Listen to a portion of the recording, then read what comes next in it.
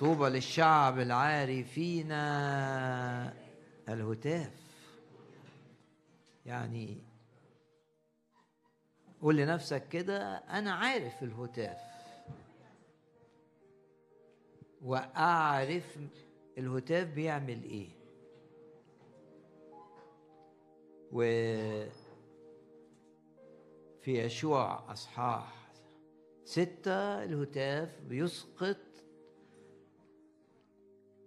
الأسوار اللي منع نجاحك اللي منع تمتعك بالسلام اللي منع إنك تكون مثمر للرب. دي أسوار أريحة. منع الشعب من امتلاك الوعد. الرب وعد الشعب من أيام إبراهيم إنه يمتلك أرض كنعان. لكن اللي مانع الامتلاك أسوار أريحة. لازم أريحة دي تنهزم. والكتاب يقول دايما نفكر نفسنا بالآية دي ولما هتفوا هتافا عظيما سقط السور في مكانه. يعني وهم كانوا بيلفوا حوالين المدينة ما فيش جزء من السور وهو بيقع جه عليهم.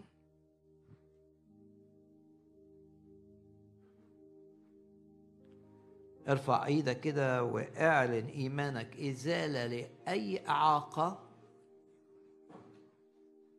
ازاله لأي سور وفي الإزالة لن تضر لن تؤذى.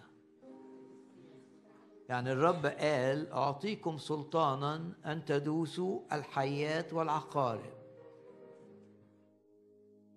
أنت ليك سلطان. ما دمت اتولدت الولادة التانية أنت ليك سلطان. ودايما نفكر نفسنا إن السلطان غير القوة. بتدوس على الحياة لأن ليك سلطان. مش لأنك أقوى.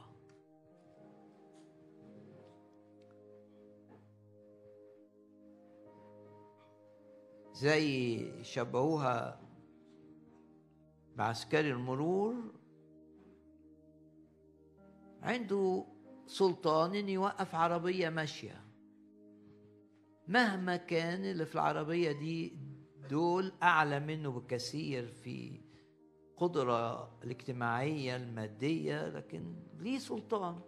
هو بيمثل الدولة. فأنت ليك سلطان بتمثل الرب. وبالسلطان بتدوس على الحياة والعقارب و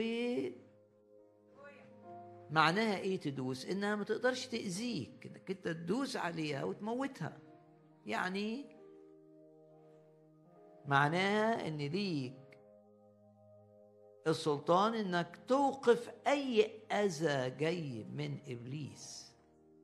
بالسلطان مش بإنك تقوى لأن القوة معناها إنك لما تبقى ضعيف مش هتقدر. ولازم قوتك تزيد لدرجة إيه؟ عشان تقدر. هو الموضوع مش موضوع قوة. موضوع إن أنت في مواجهتك لقوى الشر انت تمثل الرب يسوع.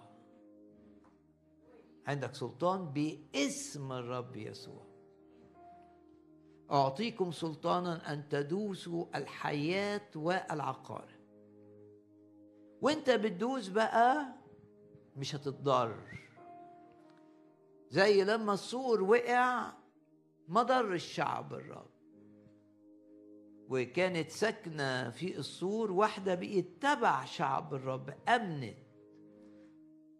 هي رحاب وكل عيلتها كانوا في ساكنين في السور هي جابت كل العيلة معاها في اليوم ده. السور وقع في مكانه يعني ما أذاش الناس. شعب ما أذاش. شعب الرب اللي بيدور حوالين المدينة ولا أذى رحاب اللي صارت من شعب الرب. وانت بتدوس على الحياة والعقارب مفيش حية تقدر تأذيك. مفيش. عقربة تقدر تلدغك. الرب بعد ما قال أعطيكم سلطانا أن تدوسوا الحياة والعقارب قال ولا يضركم شيء. ندي المجد للرب.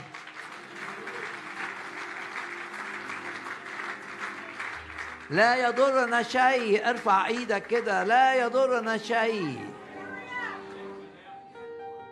أعطيكم سلطانا أن تدوسوا تقول باسم الرب يسوع بدوس على الحياة اللي ابتدت تهاجمني في دائرة العمل. واحد تاني اللي ابتدت تهاجمني في تحصل لي حاجات غريبة. في دائرة الصحة بتحصل لي حاجات غريبة في العلاقات حاجات ملهاش تبرير. ده نشاط للعدو. دوس.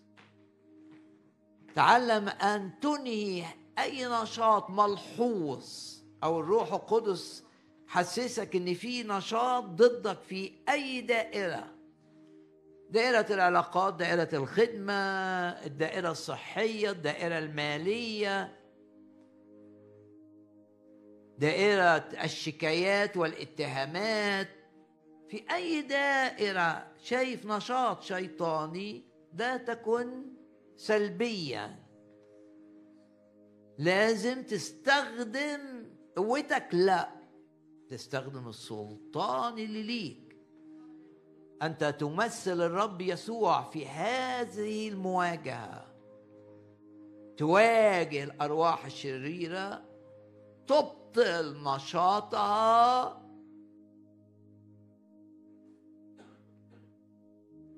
ولما تبطل نشاط العدو تبقى واثق. مش خايف. ولا يضركم. شيء.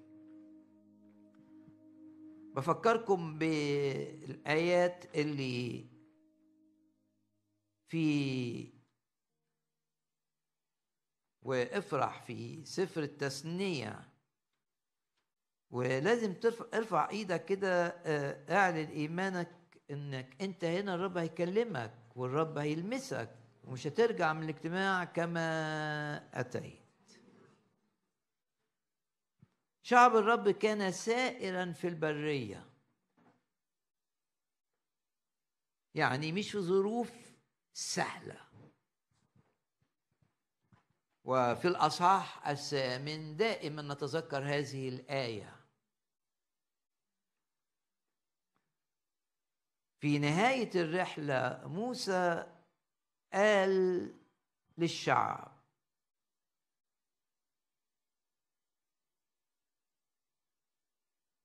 في آية أربعة ثيابك لم تبلى عليك. ورجلك لم تتورم. هذه الأربعين سنة رغم إن البرية دي عبارة عن إيه؟ نرى في 14 15 الذي صار بك في القفر العظيم اللي بيخوف المخوف مكان حيات محرقة وعقارب. يبقى البرية مليانة حيات وعقارب. قدرت تأذي شعب الرب. رجلك لم تتورم. يبقى ما اتلدغتش يبقى محمية رغم إنه ماشي في حتة خطرة جدا. الذي صار بك في القفر مكان حيات محرقة يعني مميتة يعني قاتلة وعقارب. عمل معاك معجزات. الذي أخرج لك ماء من صخرة الصوان. يعني من الظروف الصعبة أوي أوي أوي يطلع حاجات رائعة جدا جدا جدا. من الصخر طلعت مية. وفي المزمور يقول لك ومن الصخر أشبعك عسلا كمان لأن في الشروخ اللي في الصخور النحل عمل خلية خلايا ليه وكان فيها عسل. الصخر جاب مية وجاب عسل. وده اللي قاله الكتاب. إن من الجافي شيء لا يؤكل شيء آه، سيء. خرجت حلاوة. ومن الآكل خرج أكل. وكان المثل ده اللي قاله شمشون ان الأسد الميت الأسد مات فما اكلنيش وكمان النحل جه فيه وطلع عسل. وهنا في تثنية ثمانية يقول لك أيا كانت الظروف اللي أنت فيها. الذي أخرج لك ماء يبقى ظروف قاتلة تتحول إلى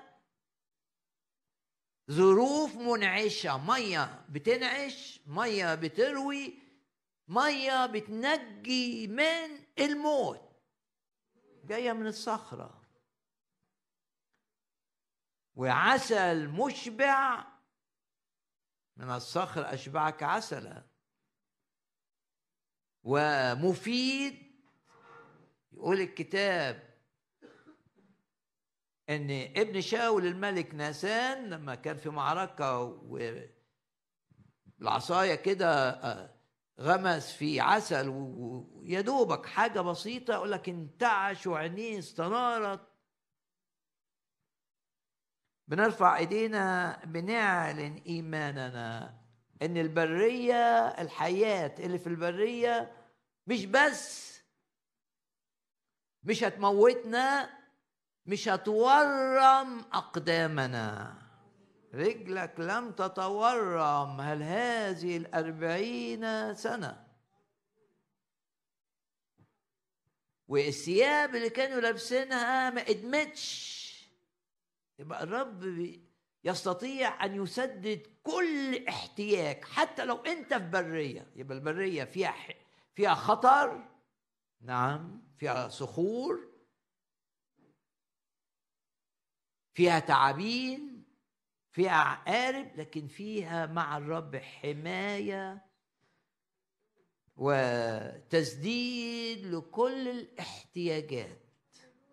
الرب رعي فلا يعوزني شيء. مرة كمان بقى نهتف للرب اللي عطانا سلطان أن ندوس الحياة والعقارب.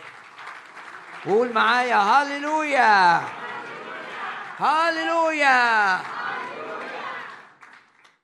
أرجلنا لن تتورم. هللويا ندوس على الحيات والعقارب ونبطل خطرها ونشاطها. قول هللويا هللويا في البرية لن يعوزنا شيء والصخر يطلع لنا مية وعسل. اهتف للرب اللي بيسدد كل احتياج قول هاليلويا. واعلن إيمانك إن كل الأشياء تعمل معا لخيرك ومن أسوأ الأمور مع الرب يخرج أحسن وأروع البركات. والرب بيغير الأوقات والأزمنة ويجعل كل الأشياء تعمل معا لخيرنا. كن واثق في الرب. و... وانت مغمض عينك كده اشكر الرب من أجل الحماية. مهما كانت البرية اللي انت فيها صعبة أشكر الرب من قلبك من أجل أنه قادر أن يسدد احتياجاتك المتنوعة ايا كانت الظروف التي أنت فيها. يسدد كل احتياج. بحسب غناه بولس بيقول كده في فيليبي بحسب غناه في المجد. أشكر الرب من قلبك. أشكر الرب أنه يتحكم في كل الظروف. ويطلع من أسوأ حاجة أحسن حاجة. مفيش حد يقدر يعمل كده غير الرب. أشكر الرب إنه مش بيعمل ده يوم وتاني يوم لا لا يقول لك كده. هذه الأربعين سنة يقول لك من أول السنة إلى آخرها في كل الظروف هو معك. وتكون في الارتفاع فقط. وكل آلة اتعملت لإيذائك لا تنجح. وكل خطط لإبليس ضدك أشعية بيقول إيه لا تقوم ولا تكون. وأنت مغمض عينك كده تقول نعم أنا واثق إني أي حاجة لايذاء النفسي لايذاء الجسدي لايذاء العائلي لايذاء في عملي. لا تنجح معي. كل آلة اتعملت لإيذائك صورت ضدك لا تنجح. بس علشان الآيات اللي أنا بقولها دي تتحقق لازم شرط إيه؟ إنك تصدقها وتؤمن إنها تحصل معاك. مريت بظرف صعب. تؤمن إن الظرف الصعب ده مش هيدمرك لأن في الرب مسؤول عن حماية نفسيتك. وتؤمن إن من الظرف ده تطلع بركات غير عادية لمجد الرب. تؤمن تبقى مليان إيمان بالكلمات اللي بتقراها في الكتاب المقدس أو بتسمعها في الاجتماعات. رجلك لن تتورم. رجلك لم تتورم هذه الأربعين سنة. يا رب نشكرك لأنك تحفظنا من كل شر. وتخرج لنا من الجافي حلاوة ومن صخرة الصوان. الناشفة أوي أوي تطلع مية حلوة. وعسل جميل. ندي المجد للرب مرة كمان.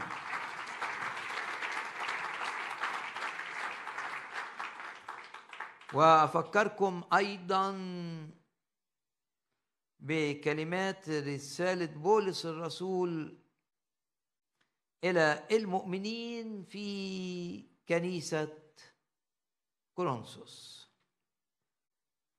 وانتبه إلى هذه الكلمات الروح بيفكرك بيها. كرونسوس الأولى و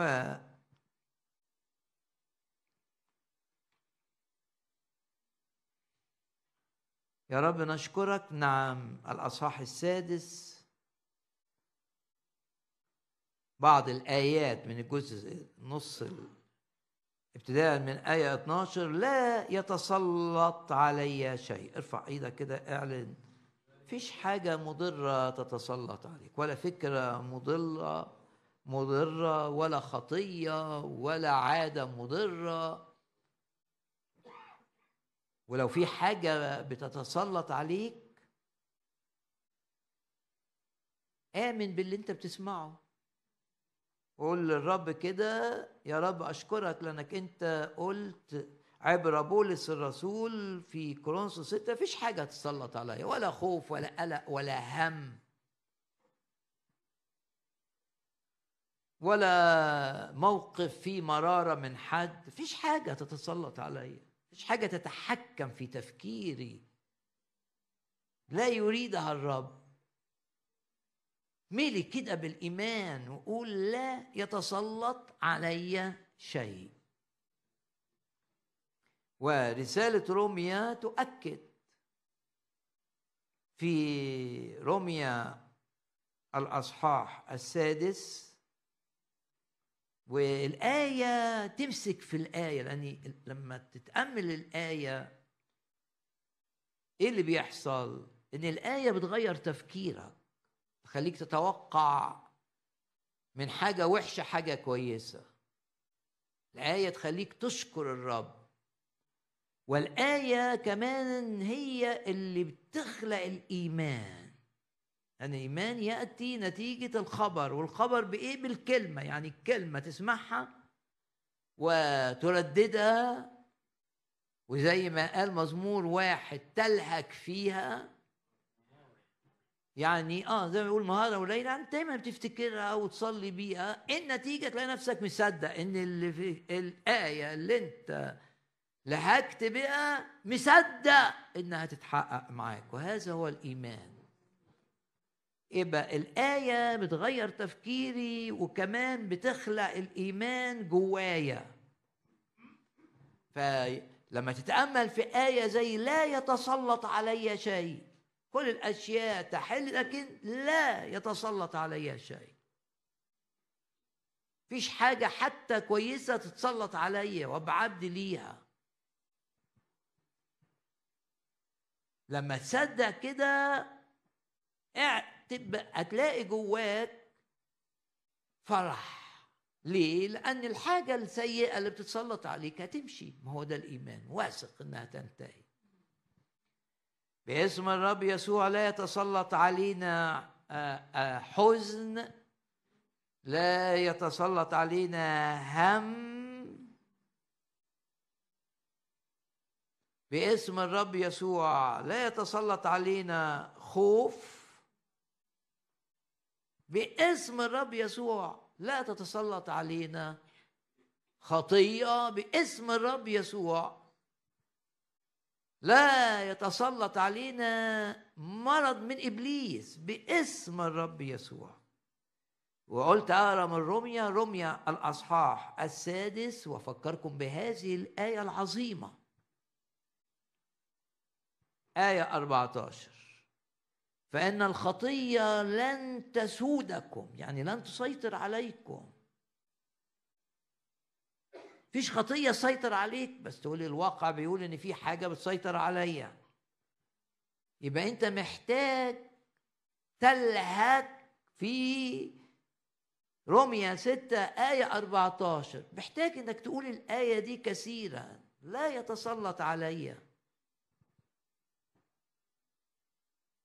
في واحد تتسلط عليه السجاير رغم إنه ليه علاقة مع الرب واحد تاني بيتسلط عليه يشرب خمرا كثيرا والكتاب يقول لا تكن من شريبي الخمر الذين يتلفون أجسادهم.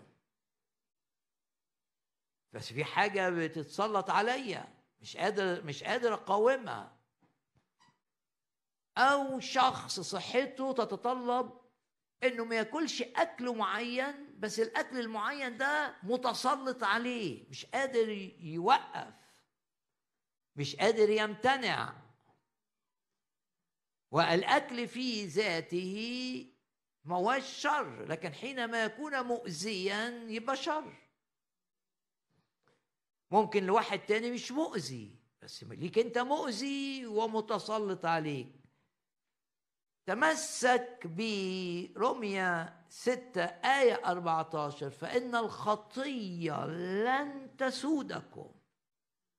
ليه؟ عشان في نعمة.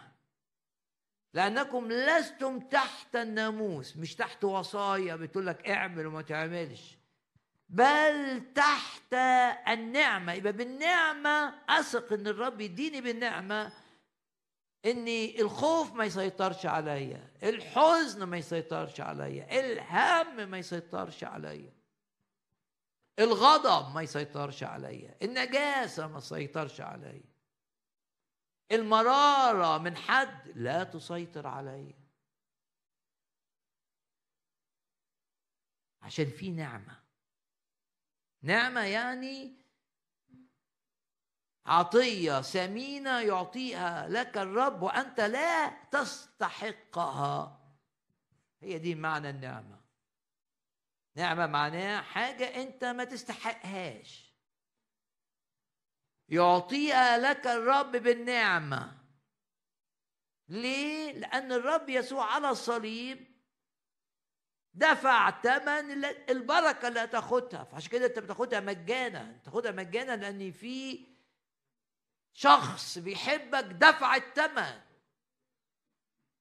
فعشان كده تبقى واثق إنك أنت هتاخد هتاخد حرية من سيطرة أي خطية ومن سيطرة أي شيء مؤذي. وأقرأ الآية مرة كمان الخطية لن تسيطر عليكم. ليه؟ لأنكم تحت النعمة. مجد الرب مرة كمان كده مجد الرب.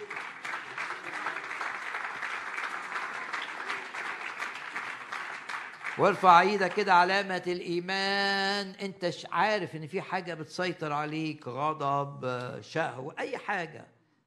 وقتك بيضيع آه، قدام التلفزيون آه، حاجات مسيطرة عليك بتضيع منك وقت طويل جدا. فنرفع ايدينا نعلن ان لا يسيطر علينا شيء ايا كان الشيء ده في ذاته مش غلط ما فيهوش حاجة. تقول أنا ما اتفرجش على حاجة فيها خطية. آه لكن وقتك ضايع بكثرة. والكتاب بيقول لك مفتدين الوقت. مفتدين الوقت يعني الوقت حاجة ثمينة وكأنك بتشتريها حريص عليها. مفتدين الوقت لأن الأيام شريرة.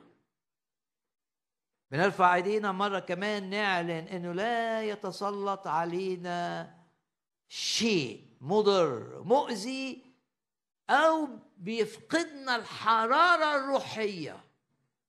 ما الكتاب عايزك حار مش عايزك بارد. وتقرا في سفر الرؤيا كده كنيسة الضخمة دي اللي الرب مش بيحذرها. أنتوا لا حارين ولا حتى أنتوا فاترين كده في طور. كنيسة لاوتكية وكانوا فاهمين الفطور ده. ليه؟ لأني سمعتني بقول الحكاية دي قبل كده خلفية لهذه الآيات إن لاوتكية كانت بتجيب مياه من نبع. كانت تطلع المية منه مية سخنة. تطلع سخنة كده وتمشي لغاية ما توصل المدينة تبرد. هو بيقول لهم تبقى فترة. فهو بيقول لكم أنتوا فاترين. الحرارة بتضيع منكم زي ما بتضيع من المية دي. يبقى طالع من اجتماع كده حار وبعدين واحد يحكم معاك ويدخلك بقى في مناقشات عن الاقتصاد عن السياسة آه، آه، آه، وتروح البيت بارد. لازم تصلي إنك لا تفقد الحرارة الروحية. وحتى لما الحرارة تقل ترجع البيت تسترجع اللي الرب قاله لك وتقول آه الرب كلمني أنا. أنا كنت محتاج الآية دي. أنا الأصحاب دول بيفطروني. أنا زي الناس بتوع كنيسة لاودكيه فاتر يفكرك الروح القدس. وتقول طيب أنا مش عايز أبقى فاتر. تبتدي تسترجع الآيات التي لمستك أثناء العظة وتصلي بها. وتصحى تاني يوم الصبح عايز تفتكر آية اتنين تشكر الرب لن تأخذ منك وقتا. ده حاجة بتشكر الرب. يا رب أشكرك لأنك أنت أعطتني آية لا يتسلط علي شيء. أنا بيتسلط علي الخوف والإنزعاج والارتباك و... وتوقع. في واحد بيسيطر عليه توقع. توقع إيه؟ توقع الأمور الأسوأ. يبقى أي حاجة بتحصل له بيتوقع أسوأ حاجة. يبقى الموضوع ده ممكن يبقى ليه عشر تفسيرات يختار أسوأ تفسير. ده مقيد. ورا ده تسلط تسلط من العدو بيخليه دايما مش ما عندوش سلام لأنه بيتوقع ما هو أسوأ. أنت بقى تقول لا أنا مش هعمل كده أنا لا يتسلط علي خوف ولا يتسلط علي انزعاج ولا يتسلط علي غضب ولا يتسلط علي شيء مؤذي لصحتي ولا يتسلط علي شيء مؤذي لبيتي مؤذي لأولادي مؤذي لوقتي. ولو بتخدم الرب تقول لا يتسلط علي شيء. يضعف حرارة الروحية لكي أخدم الرب مليان بالروح. لكي يكون الثمر كثير ولمجد الرب. ندي المجد للرب مرة كمان.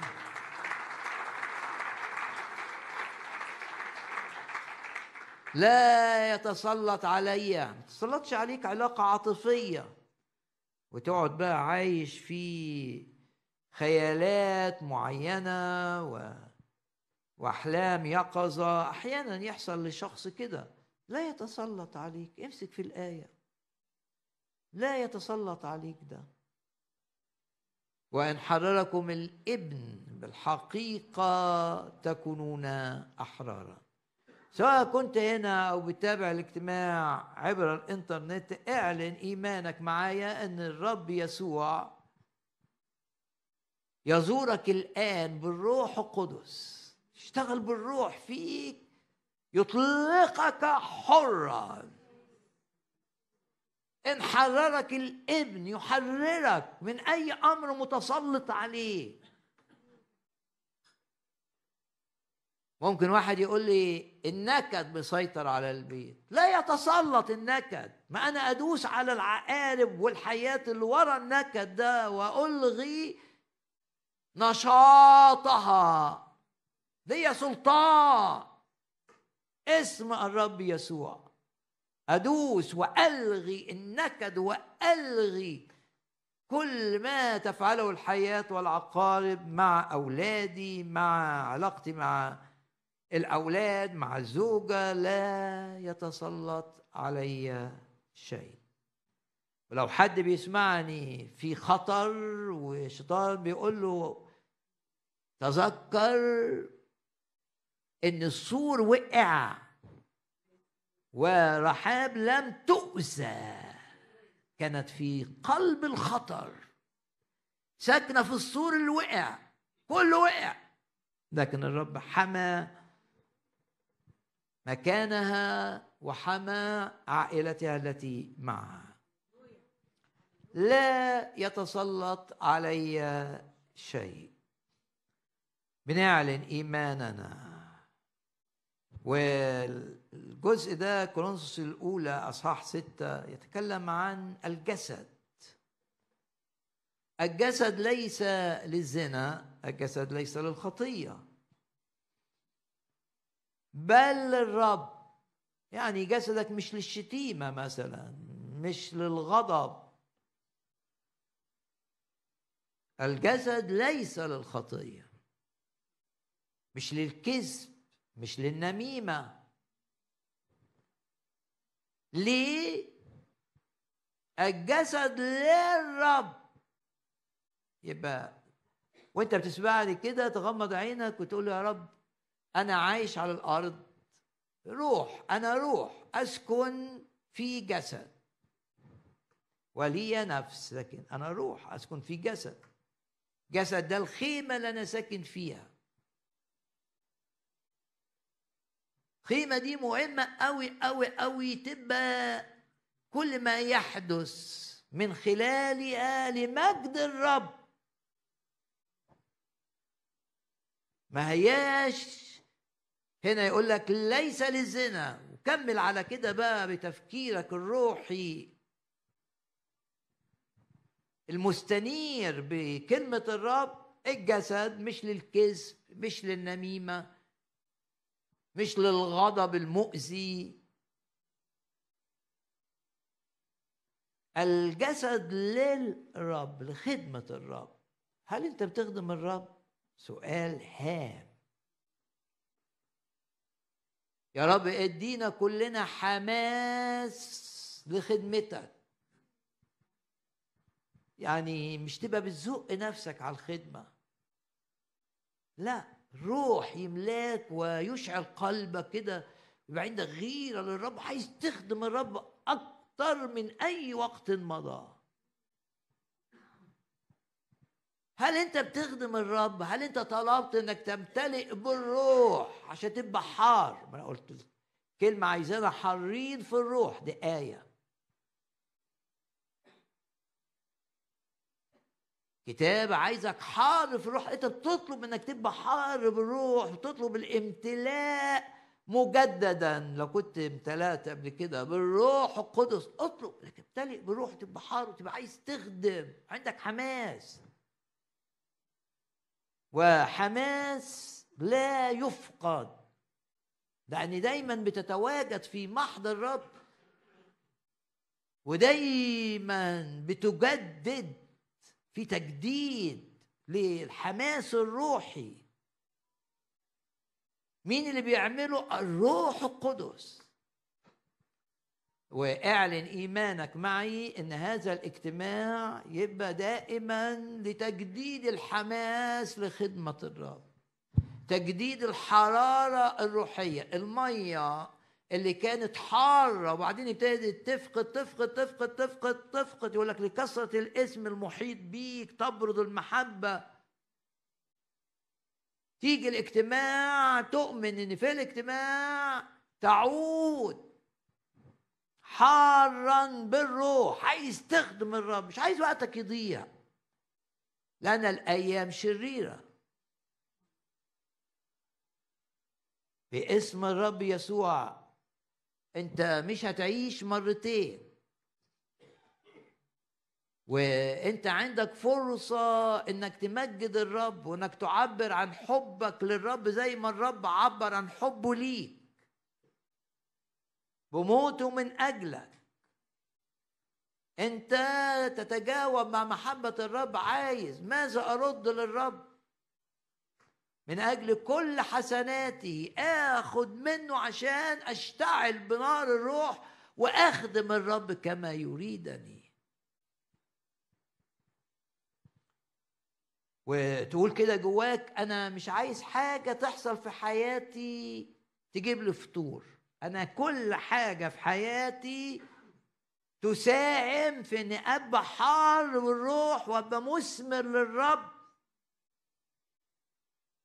وزي ما في سفر تذكرت هذه الكلمات من سفر زكريا واحد من الأنبياء بتعود العهد القديم. وفي آخر يقول لك حتى أجراس الخيل كانوا الخيل بيستخدموه في الاحتفالات مش بس في الحروب. ويكون عشان كده عليها أجراس ويكون على أجراس الخيل قدس للرب. يعني حتى ده عايزه لمجد الرب. ده التطبيق الع... أي حاجة بعملها تجيب مجد للرب تساهم بطريقة أو بأخرى في إن ناس تعرف الرب أو ناس تكبر مع الرب. يعني يا إما الرب يخليني جزء من سلسلة نهايتها إن واحد يعرف الرب وأبقى حلقة.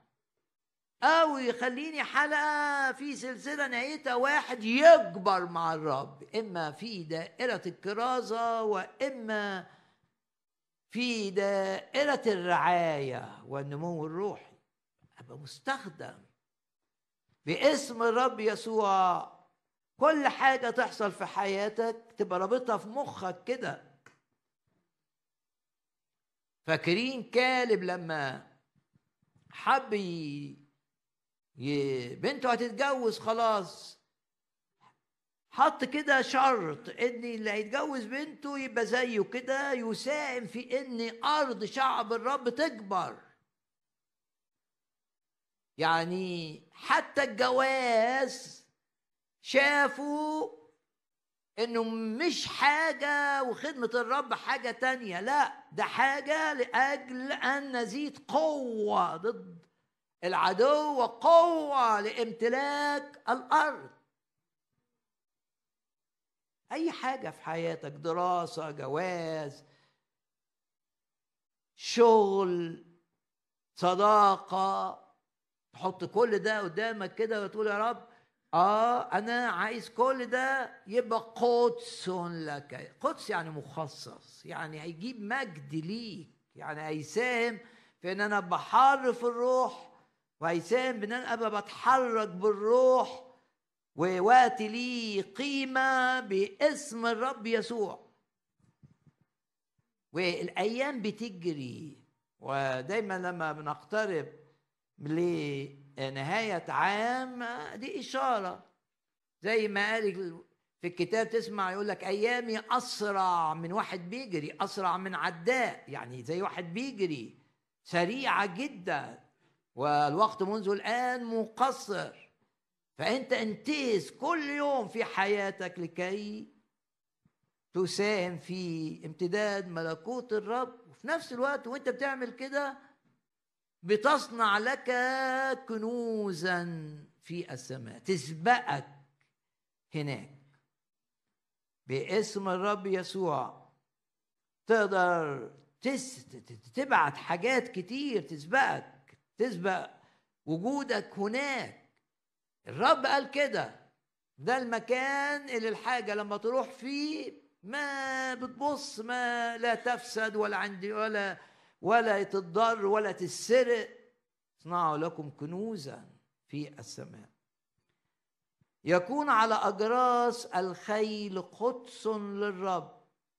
والأواني اللي والقدور كل قدر في أورشليم. إناء تكون قدسا للرب. اعلن إيمانك إني مش جسدك بس للرب. كل ما تفعله بتاخده من إيد الرب لمجد الرب. ويغمض عينك كده ويقول يا رب أشكرك من أجل هذه الآية انك جسد للرب. جسد بتاعي للرب. بقوة الروح القدس جسدي دائما لمجد الرب. يبقى عندنا أول آية لا يتسلط علي شيء. الآية الثانية الجسد ليس للخطية بل للرب. وأنت بتسمعني كده قول لي يسوع كده عايز يا رب حياتي ما يبقاش فيها خطية عايز حياتي تبقى لمجدك. ولا ابقى عندي بغضة ولا يبقى عندي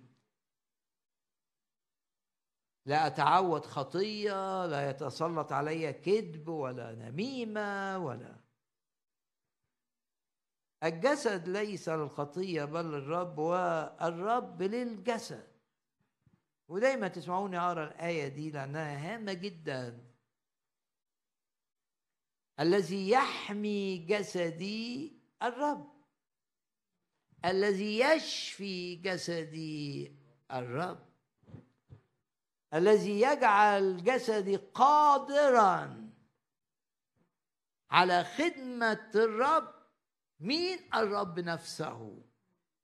نتيجة إنك أنت عطيت حياتك للرب بقى الرب لحياتك. عطيت جسدك للرب بقى الرب لجسدك. الجسد للرب الرب للجسد. ودايما تتطلع إلى الرب إن هو المسؤول عن حماية مش بس نفسك وروحك وجسدك. وهو المسؤول عن شفائك مش بس النفسي شفائك النفسي والجسدي. وتبقى خاضع كده.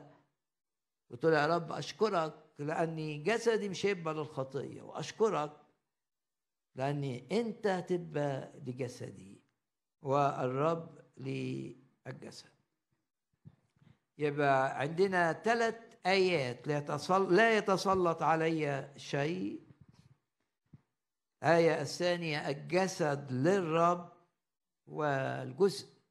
من هذه الآية نخليه رقم ثلاثة الرب للجسد. آية رقم 19 طب إزاي جسدي يبقى للرب؟ ما يبقاش للخطية يعني. أما لستم تعلمون؟ آية رقم كام؟ آية رقم 19 أن جسدكم هو هيكل للروح القدس. يبقى لا يخلي جسدي للرب الروح القدس ولا يخلي الرب لجسدي هو الروح القدس. الروح القدس جواك يقاوم يقاوم الطبيعة القديمة اللي فيه. لأني غلطية تقول لك الروح القدس ضد الجسد اللي هو الطبيعة القديمة. ولو أنت بتسمعني وشايف نفسك إنك عاجز أمام خطية ومش بتتبع الرب بتدقيق. والكتاب يقول تطهروا تنقوا. بس انت مش قادر تعيش مدقق. مش قادر تبقى زي ما الكتاب بيقول. يبقى انت هنا تحتاج إلى الروح القدس. تلبسون قوة من الأعالي قوة ضد الطبيعة القديمة اللي فيك. أولا. يبقى أنت محتاج في الاجتماع أنك تطلب أن تمتلئ بالروح. عشان جسدك يبقى للرب. لأنه مش هيجي بالإرادة. الإرادة عاجزة. وقهر الجسد تحاول تقهر في نفسك. رسالة كلوسي تقول لك ليس له فائدة هيفشل تنجح. أسبوع اتنين وبعدين تلاقي الخطية رجعت. ورجعت أشرس مما كانت. زي ما تكون مجوع حيوان كده وأطلقته ليأكل. أمال إيه العلاج؟ العلاج إنك تمتلئ بالروح تتواضع وتقول للرب أنا محتاج روحك أنا محتاج اتملي بالروح أنا محتاج أصلي بالروح أنا محتاج أسبح بالروح أنا محتاج نقلة بالروح القدس. والروح القدس هو اللي يخلي جسدك للرب. والرب بقى يشتغل في جسدك إزاي؟ ضد المرض وضد الإعياء وضد الضعف. أيضا بالروح القدس. أنت تحتاج للروح القدس. لكي يكون جسدك للرب والرب للجسد. رومية 8 رومية 8 فكر نفسنا لما يجي الاجتماع الآيات تيجي تيجي بقوة كده وتنبهك وتخليك تصلي بيها وتفرح. في نهاية الاجتماع بيبقى بعد الاجتماع بيبقى في وقت التسبيح بقى ترنم وتسبح. وانت بترنم وتسبح تمتلئ بالروح القدس.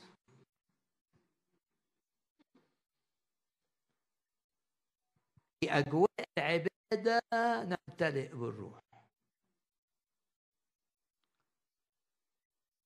رمية 8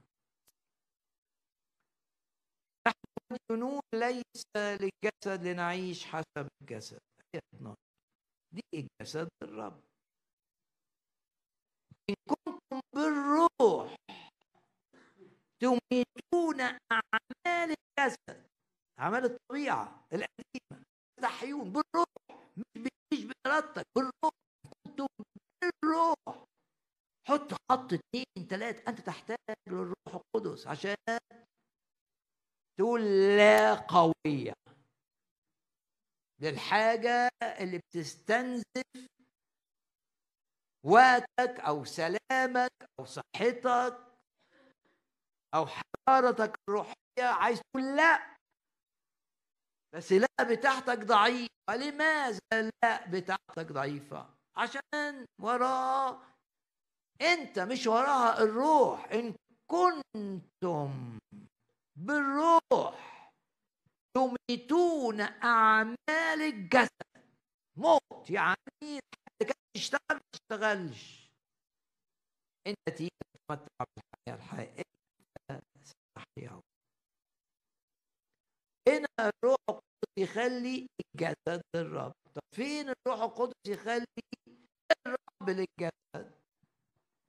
دي بقى آية في رومية 8 نفس الإصحاح كان آية رقم 11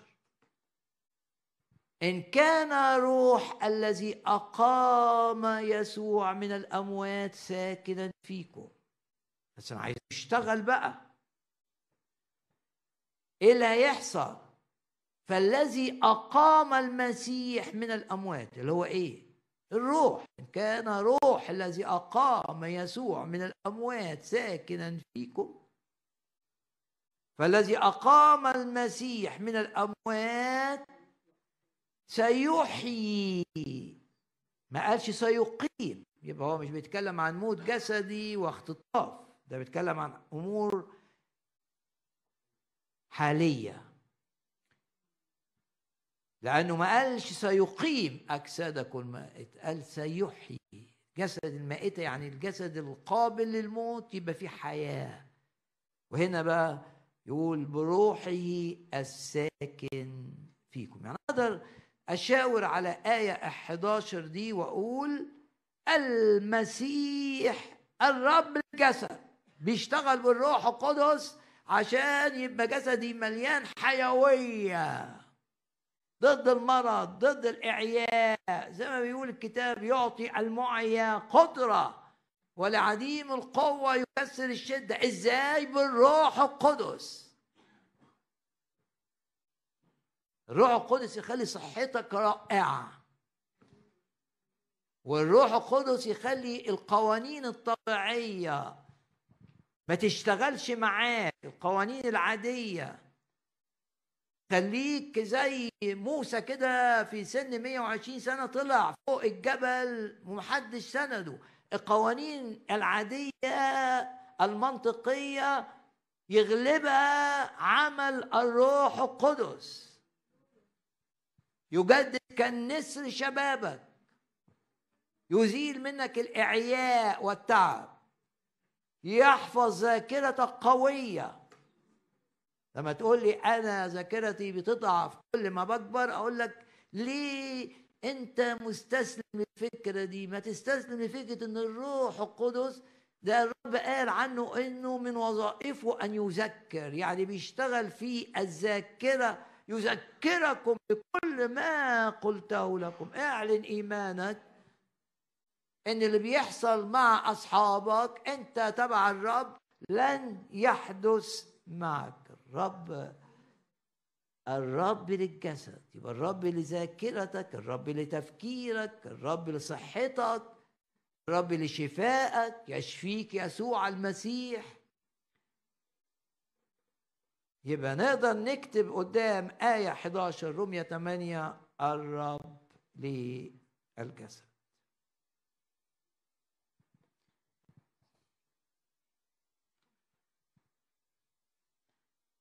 والرب للجسد والجسد للرب بالروح القدس. ودي آية 19 من كورنثوس 6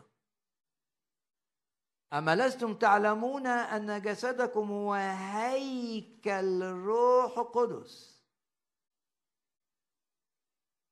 يعني شوف الرب اهتم بهيكل الهيكل بتاعه إزاي في العهد القديم و عطى تعليمات لسليمان عطاها لداود وده سليمان داود خد التعليمات وقالها لابنه وابنه نفذها.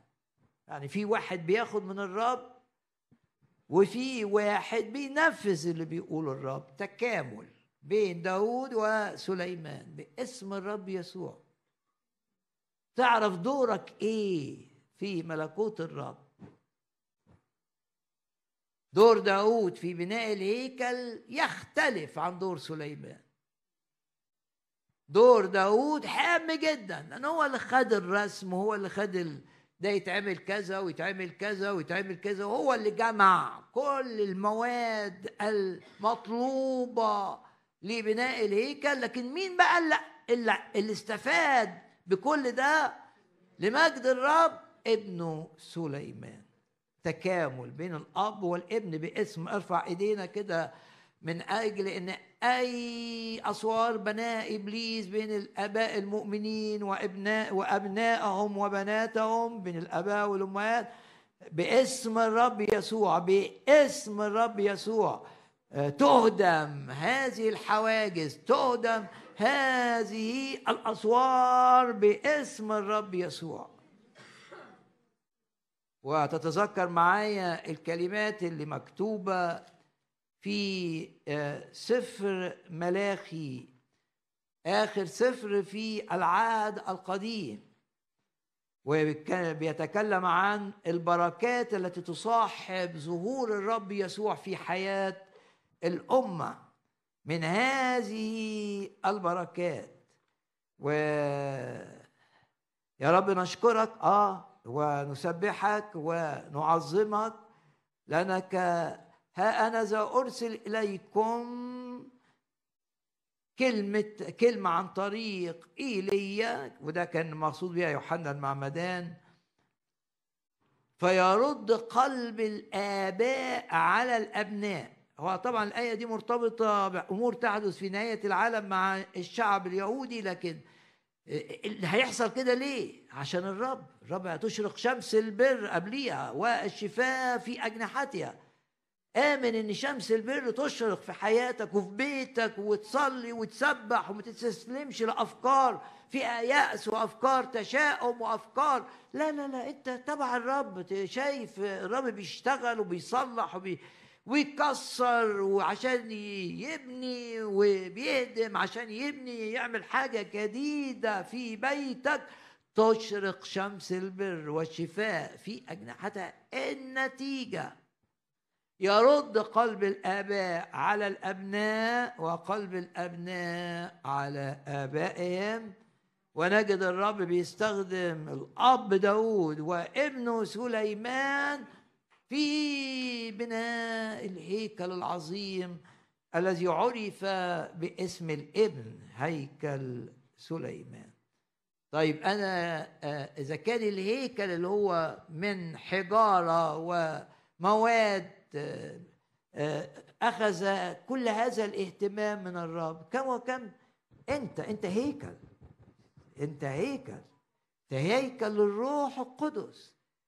أم لستم تعلمون أن جسدكم هو هيكل للروح القدس الذي فيكم الذي لكم من الله. غمض عينك كده قول الروح القدس لي من الله. الروح القدس في داخلي. تعلن كده إيمانك. أنا جسدي ده هيكل للروح القدس. والرب لأنه كان بيهتم بهيكله في العهد القديم بكل تأكيد يهتم بكياني بشكلي بإمكانياتي بصحتي بنفسيتي. نعم جسدكم هو هيكل للروح القدس الذي لكم من الله.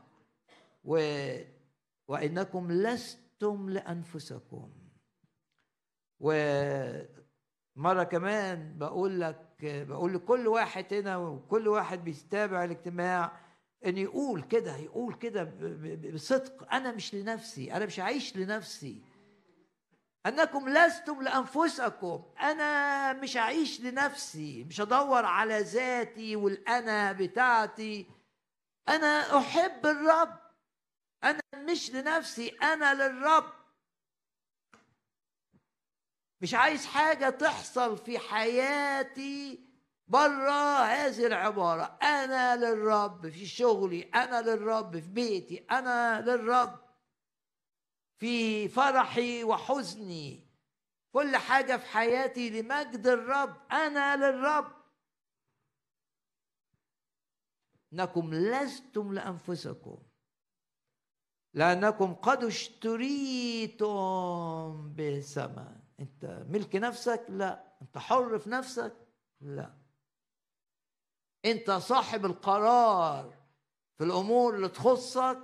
يبقى انت مش فاهم الآية دي. يبقى انت مش مصدق الكتاب المقدس. يبقى انت مش مصدق اللي عمله الرب من أجلك على الصليب إنه اشتراك قد اشتريتم بثمن. فمجدوا الله في أجسادكم. ونرفع ايدينا مرة كمان. لن يستخدم جسدي لمجد الشيطان.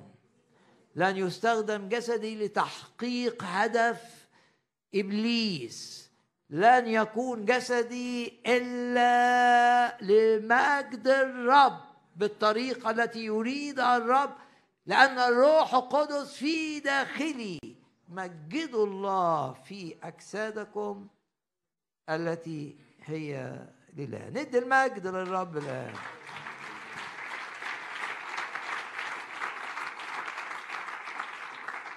ونعلن إن إحنا اشترينا بثمن وما هو هذا الثمن؟ الإجابة تجدها في رسالة بطرس الرسول الأولى اشترينا بالدم. الرب اشترانا. ونفرح بهذه الآيات.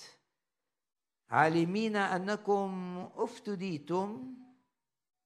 يعني بقيتوا أحرار. حد اشتراكم من العبودية اللي كنتوا فيها. لا بأشياء تفنى. بفضة أو ذهب أكيد العبد اللي هيشتروه بذهب ده ليه إمكانيات غير عادية عشان يدفعوا فيه ذهب. ليه قيمة غير عادية. أنت ليك قيمة أعظم. لأنك لم تشترى بفضة أو ذهب. بل آية 19 بدم كريم مكرم يعني. ونعظم دم الرب الآن نكرم الدم. عظم الدم.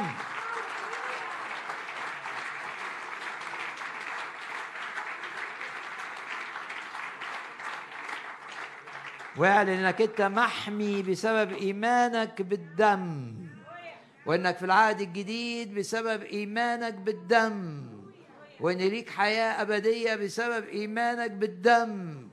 وإنك مقدس للرب بسبب إيمانك بالدم وإنك بتغلب الشيطان بسبب إيمانك بالدم وإنك بقيت قريب لعرش النعمة وليك ثقة بالدخول إلى الأقداس دائما بسبب إيمانك بالدم عظم الدم.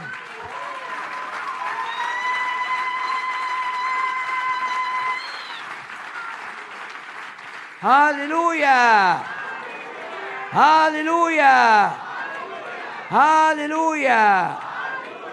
لن تفشل أنك تؤمن بالدم الثمين لن تفشل.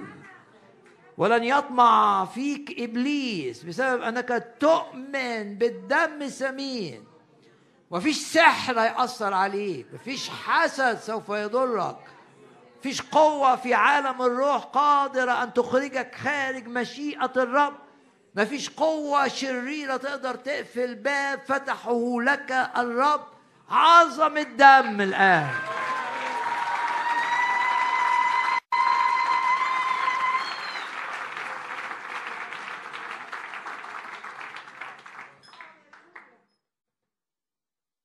عالمين أنكم افتديتم بدم مكرم من شعب الرب يكرم الدم. لم يذبح الرب وتسفك وسفكت دماؤه بسبب إن في عيب أو بسبب إن في خطية. لا ده بسبب إنه خاد خطايانا. لكن هو بلا عيب ولا دنس. ولما تدرسوا الذبائح في العهد القديم شرط أساسي عشان هي بترمز للرب يسوع ما فيها أي عيب. ولما الحياة الروحية بتاعت اليهود تعبت وتحولوا إلى ناس آه، تقليديين طقسيين ابتدوا يجيبوا حيوانات لأنها أرخص فيها عيوب ويقدموها ذبائح. لا بس كده تبقى الذبائح دي مش رمز للرب يسوع. بلا عيب ولا دنس دم المسيح. معروف في الفكر في فكر في الفكر الإلهي معروفا سابقا قبل تأسيس العالم. يعني الفداء خطة الرب ليك. من قبل أن يخلق آدم كان معد. افرح لأن الرب دايما بيعدك لأي حاجة. يعني لما جه خلق آدم عد عد كلي ما خلقوش في اليوم الأول ولا الثاني ولا الثالث في اليوم السادس. والفداء أعد.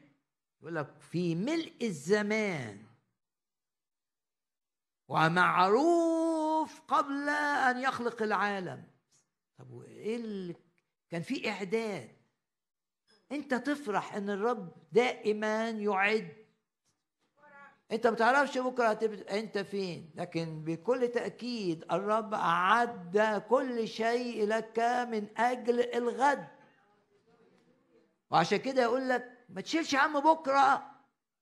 لا تهتموا بالغد يعني ما تشيلش هم بكره لماذا؟ لأن إلهي إذا كان داود أعد لسليمان الرب يعد لك كل ما أنت في احتياج إليه غدا. الرب يعد لك كل ما يجعل حياتك في الغد أروع من حياتك الآن. الرب أعد لك لن تدخل مرحلة لم يعدها الرب لك.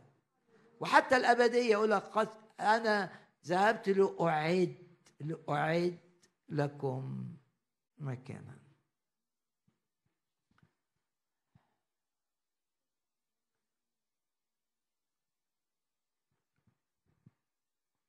سفر الملوك الأول.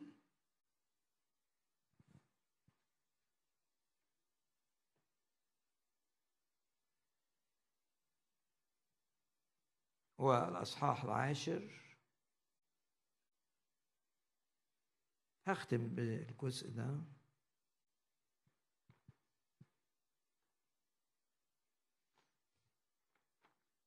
مع أخبار الأيام الأول نشوف الأول سفر الملوك الأول. مع أخبار الأيام الثاني الأصحاح التاسع. في رسالة لنا.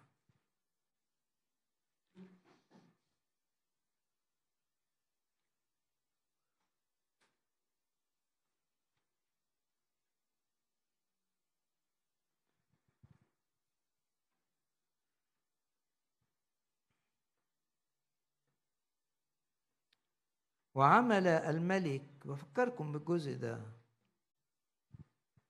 كرسيا عظيما من عاج. لأن سليمان كان غني جدا. الكرسي بتاعه اللي بيحكم منه اتعمل من العاج.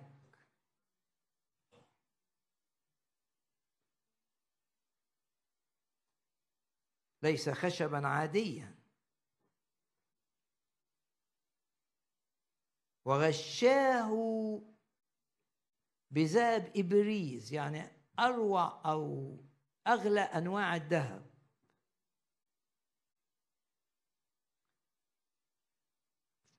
فكر نفسنا بالجزء ده ورسالة بسيطة. وللكرسي ست درجات يبقى إذن الكرسي عالي.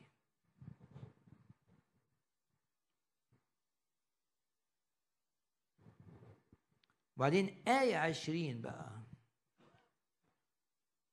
وإثنى عشر أسدا واقفة هناك على الدرجات الست من هنا ومن هناك.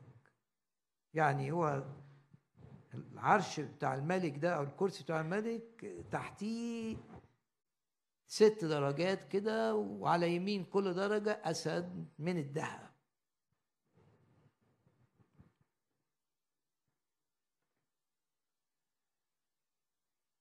لم يعمل مثله في جميع الممالك.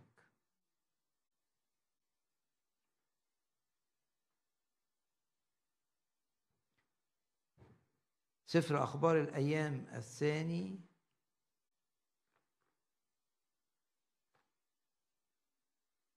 الأصفار بتكمل بعض.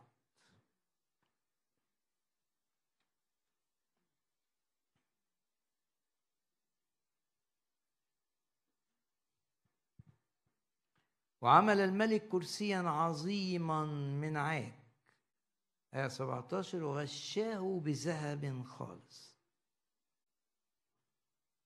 وللكرسي ست درجات.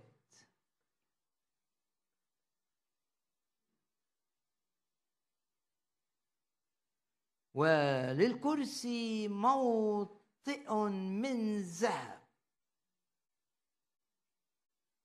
ودي الجزء ده اللي مش مكتوب فيه اللي بيكمل بيه أخبار الأيام الثاني أصحاح تسعة اللي اتقال في ملوك الأول أصحاح عشرة. إني قاعد بس رجليه على ذهب.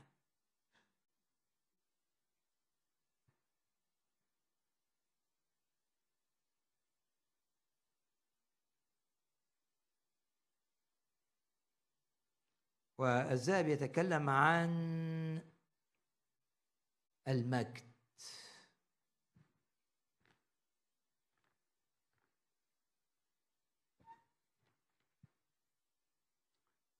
ال 12 أسد بيتكلموا شعب الرب 12 سبط يبقى كل شعب الرب عبارة عن أسود. انت ترفع إيدك كده وتعلن انك انت قدام الشيطان أسد.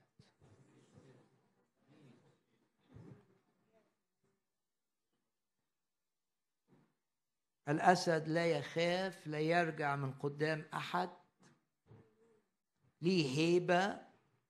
كل ده أنت. وهو سليمان قاعد كده والشعب ممثل بالأسود ال 12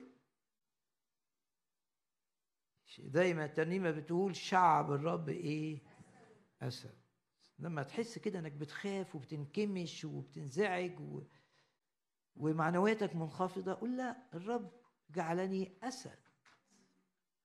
كل عيلة رمزها أمام سليمان أسد يبقى كل عيلة مع الرب أسد.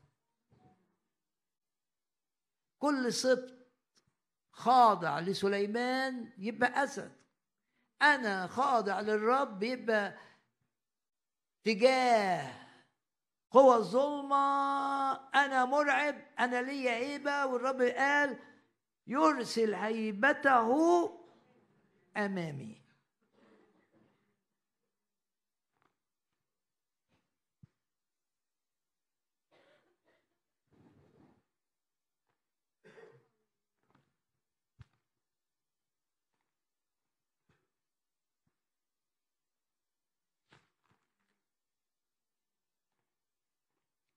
وأقرأ آية كمان من رسالة أفسس. يبقى الرب هو سليمان بيتكلم عن الرب. الرب جالس ورجليه على ذهب. موطئ من ذهب. يعني قدميه الاثنين على الذهب. هنهي بالجزء ده رسالة أفسس؟ عشان نوديك فرصة بقى في البيت تتأمل في الجزء ده. ما هي عظمة قدرته؟ الأصحاح الأول آية 19 الفائقة. نحونا نحن المؤمنين حسب عمل شدة قوته. شوف التعبيرات. الرب يشتغل فينا بقدرة فائقة وقوة شديدة حسب عمل شدة قوته. طب شفنا القدرة دي اللي تشتغل فينا. شفناها فين؟ شعب الرب زمان كانوا بيشوفوها في تحرير الرب للشعب من فرعون ومن أرض مصر وغرق فرعون في البحر. ده في العهد القديم طب في العهد الجديد. لا إحنا بنشوف قوة الرب في القيامة. يعني في القيامة مش فرعون اللي بيغرق إبليس اللي بيغرق. وفي القيامة بتاعت الرب حرية مش من العبودية بتاعت لا حرية من العبودية للخطية والعبودية للشيطان. بموت الرب وقيامته. حسب عمل شدة قوته أدي النموذج الذي عمله في المسيح إذ أقامه من الأموات. وأجلسه عن يمينه في السماويات. كرسي يتكلم عن الراحة الجلوس الراحة. الرب مستريح لأنه أتم الفداء لأنه أكمل العمل لأنه قال قد أكمل. وأقدامه على الذهب. وتحتيه بقى تحت الحتة دي إيه؟ يقول لك فوق كل رياسة وسلطان وقوة وسيادة وأخضع كل شيء تحت الدهب بيتكلم عن المجد. يبقى الرب في السماء في مجد. وراحة. طب إيه علاقة ده بيا؟ ده الأصحاح الثاني. أقامنا معه وأجلسنا معه في السماويات. يبقى أنت تشوف نفسك جالس على الذهب برضه. راحة في مجد الجلوس يتكلم عن الراحة. أراحنا من كل جانب بس راحة بتاعت واحد كده مهزوم أو يائس أو مستسلم. لا. ما هوش واحد نايم زي يونان هربان من الشكاية بتاعت الضمير فنام وما حسش باللي بيحصل. لا دي راحة سلام داخلي بيديه الرب. تبقى قاعد في المسيح ورجليك على الدهب وتحتيك بقى انت فوق. كل رياسة وسلطان وقوة وسيادة. أنت في سليمان الحقيقي جالس على كرسي من عاج مغلف بالمجد اللي هو الذهب وأقدامك مستريحة مستقرة على الذهب وأعلى من كل رياسة وسلطان وقوة وسيادة. عشان كده في مجد.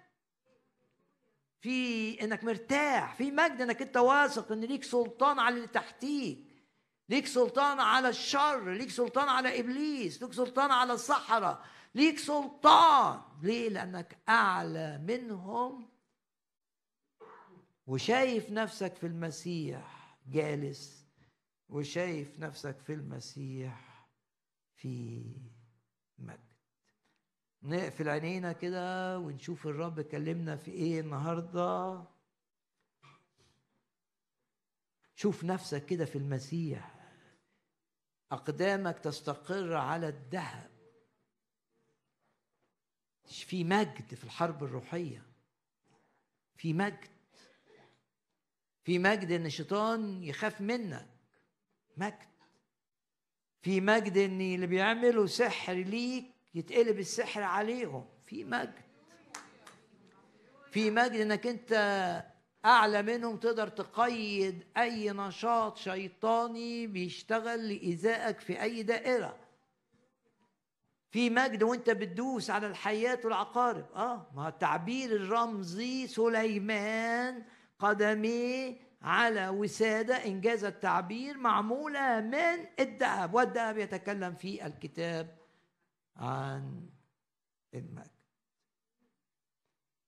اسأل نفسك هذا السؤال الهام الرب كلمك في إيه النهارده؟